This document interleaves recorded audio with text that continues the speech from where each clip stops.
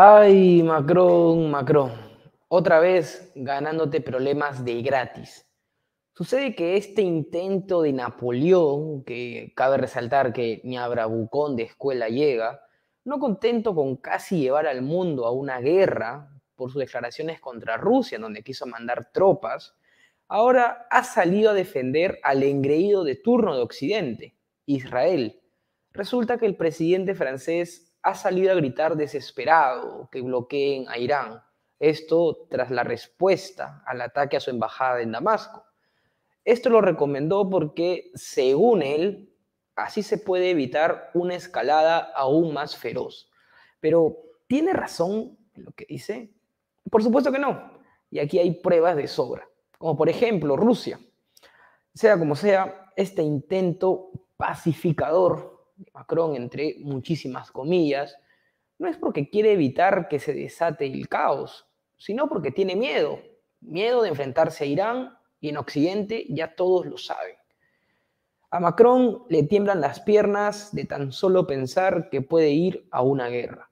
Mi nombre es Fabricio Torres y esto es Prensa Alternativa, la noticia del día, del mes, del año, posiblemente, es lo ya conocido entre Irán e Israel, luego de eh, el derrumbe, el ataque a la embajada iraní en Damasco, en Siria, Irán ha respondido y fuerte, ya como lo hemos visto, no, no estoy aquí para contarles lo que ya se ha visto en diversos videos de este canal, mismo que los invito a ver.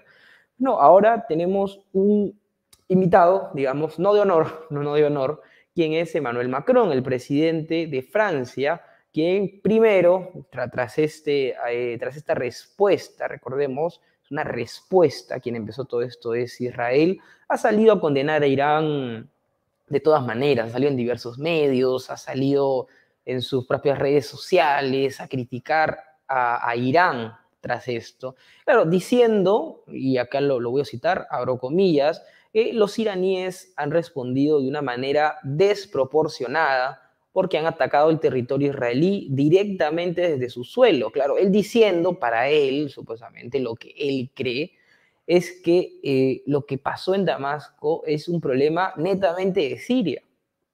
Claramente él cree eso, porque supuestamente para él eh, una embajada no es el suelo de ese país y hay que decirlo y hay que educar a, a esta persona, quien cree ser un Napoleón, ¿no? como dije al inicio. El suelo de la embajada es correspondiente al país. O sea, si el país A pone una embajada en el país B, es el suelo del país A. Y esto lo conocimos también con lo que pasó en Ecuador, con la embajada de México, y ahora Israel atacó Irán. Y eso es claro. Si mandaba un misil a cualquier país, una embajada iraní, atacó Irán. Eso es claro. Entonces Macron a ver, aquí es la pregunta. ¿Él sabe y no lo quiere y, no lo quiere decir o no lo sabe? Claro, sabemos que Macron no es un tipo tan lúcido tampoco, ¿no? Pero yo dudo que no sepa estas cosas. Entonces yo voy con lo siguiente. Él sabe, pero quiere hacer o quiere vender, digamos, algo que sabemos que no es. Pero bueno, él miente, pero algo queda, ¿no? Es eso. Pero bueno, entonces Macron se mete en problemas con Irán y mucho por estas cosas, porque miente al principio y porque también está diciendo que quiere aislar a Irán del mundo, quiere bloquearlo, quiere sancionarlo, como ustedes quieran. Esto vendiéndolo como un supuesto intento pacificador, ¿no? A ver, básicamente es esto.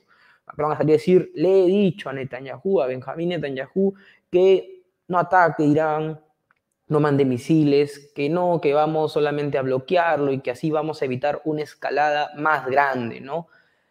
Es un error, es un error claro. ¿Por qué esto es un error? A ver, esta supuesta alternativa pacificadora, entre muchas comillas, está involucrando un bloqueo. Bloqueo que Irán no es el primer ni último país que va a sufrir esto, lamentablemente, por Occidente. No, tenemos casos claros. Cuba, Venezuela, Rusia. Preguntémoslo a los cubanos y a los venezolanos este bloqueo, este aislamiento, el nombre que ustedes quieran ponerle, ha servido para algo, ha servido algo más que que el civil sufra. No, es claramente no. De hecho, cualquier persona que te pueda decir esto, no. O sea, este es un intento, a ver, claro, de llevar una guerra más silenciosa, pero es combatir guerra con guerra. La guerra no es simplemente mandar un misil o agarrar un arma y acabar con todos. Es también esto, acabar lentamente con un país o intentarlo, porque Irán ya está siendo sancionado desde hace muchos años y lo sabemos. El propio caso de Rusia también, que es algo más, eh, más cercano en el tiempo, digamos, aunque también lo de, lo de Cuba y Venezuela sigue todavía, cabe resaltar. Pero, por ejemplo, el, caso de Rusia, ¿no? Han querido... Eh, sancionar empresas rusas, personas que son de Rusia, usar activos congelados, bueno, cabe resaltar, eh, congelar activos rusos en otros países. ¿Esto es un intento pacificador? ¿Ustedes creen? Para nada, es un intento de asfixiar a tu enemigo, asfixiar hasta que no pueda, ¿no? Acabar con su gente. ¿De qué manera acabar? Claro, no puede ser con balas, ¿no? Sino es quitándole el pan de la boca, quitándole las oportunidades de poder emigrar, tal vez. Entonces, esto no es un intento pacificador, señor Macron. Usted está combatiendo guerra con guerra, y claro, como, es, como ese tipo de guerra silenciosa, la económica, no se ve reflejado con balas o con heridos, o con heridos, digamos, con balas, eh, quieres venderlo como un intento pacificador, pero no lo es. Nuevamente, esto es guerra con guerra. Entonces, ¿cuál es el problema aquí? Sabemos que Occidente es un eh, fiel niñero de Israel, de Netanyahu, aunque a veces parece todo lo contrario, pero digamos que es de esta manera. Eh, Macron quiere eh, hacer ver frente al mundo que ellos son los buenos, que quieren la paz en el mundo, que Irán es el malo que está atacando a Israel, pobre Israel, pobre Netanyahu, ¿no? Pero no, es así realmente. No es así la cuestión. Nos quiere hacer creer esto y bobos no somos. Y yo ni ustedes, sabemos que no lo somos. Entonces, ese intento por asfixiar a Irán, haciéndolo pasar como un intento pacificador, es algo netamente tonto de por sí. Nada le cuesta a Macron salir a decir, ¿sabes qué? Yo estoy con Israel, Irán, vamos a atacarte. claro, es algo que no debería pasar, lógicamente, porque es un tema de dos países, pero es algo que ya se sabe, es algo que sabemos.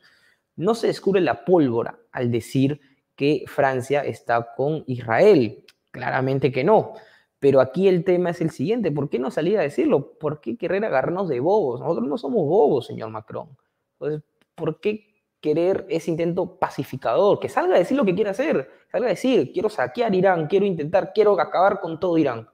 Nada cuesta, señor Macron, verle la, la verdadera careta.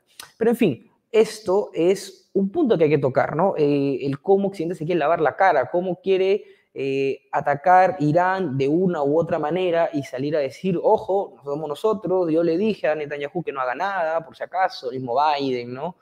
Eh, pero claro, están inmiscuidos y mucho. No por nada, Biden se pudo saber que llamó a Netanyahu para decirle que no ataque Irán, ¿no? A sabiendas que lo, que lo va a hacer, a sabiendas como Netanyahu. Claro, Netanyahu no le respondió para nada. Pero aquí también podemos interpretar de la siguiente manera, que Occidente quiere y no quiere estar, ¿no? Claro, cuando, un, cuando Occidente se impone, ahí sí estoy yo, ¿no? Soy el defensor. Cuando no se impone, no, yo nunca dije nada, nunca, nunca interpreté nada, ustedes me han interpretado mal, yo qué sé, ¿no? De esa manera es como quiere, quiere jugar Francia y todo Occidente en este caso, Francia en este, en este caso en particular, pero Occidente en general.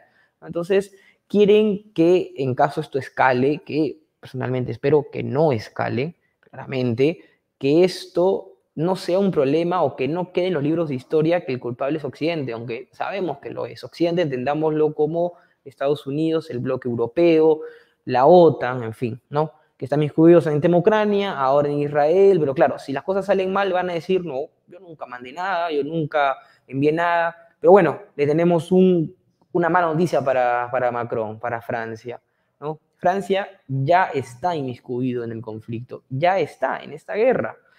Francia, Estados Unidos, Reino Unido, ¿quiénes creen ustedes que intentaron interceptar esto, este ataque iraní? ¿Quiénes creen realmente?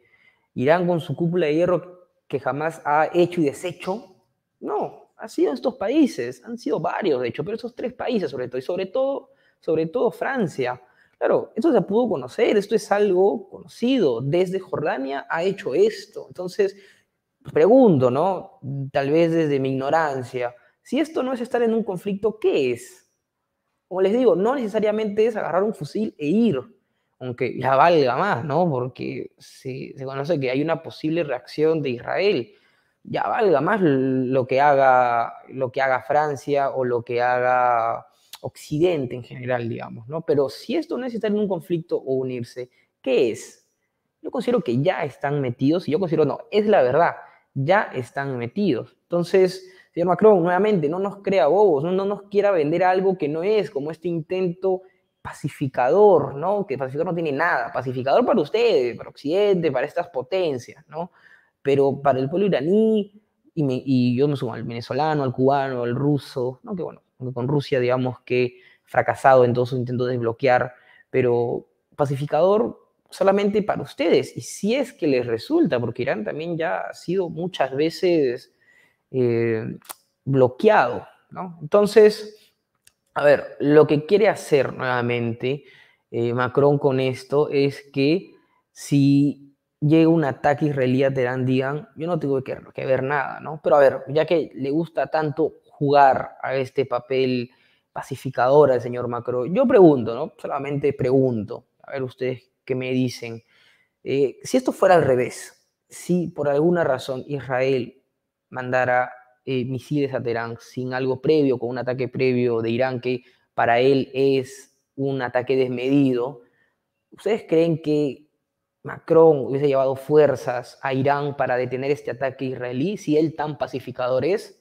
¿Creen ustedes realmente o creen ustedes que iba que pensó estar en, en la embajada eh, en Damasco? ¿Ustedes creen que pudo estar ahí? Si la embajada fuera israelí, ¿No creen que, hubiese estado ahí? Yo creo que sí, pero claro, como fue Irán, nada. Claro, y ahora como Irán es el que ha reaccionado, porque es una reacción a un ataque, le sale a decir, no, lo que hace está mal y todo eso. O sea, si al revés, claramente, pero claramente, que hubiese estado ahí metido a defender supuestamente la paz. Ahora, como es al revés, ahora también quiere defender la paz. O sea, aquí no quiere perder en ningún punto, pero lo está haciendo, está quedando muy mal parado él y todos los voceros, digamos, que están metidos eh, en, este tema con respecto a Irán-Israel.